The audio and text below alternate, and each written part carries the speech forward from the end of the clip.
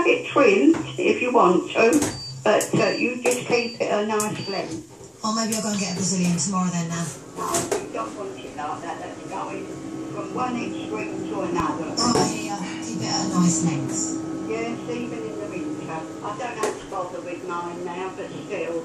Pardon. All right, Nan, thank you so much for your advice.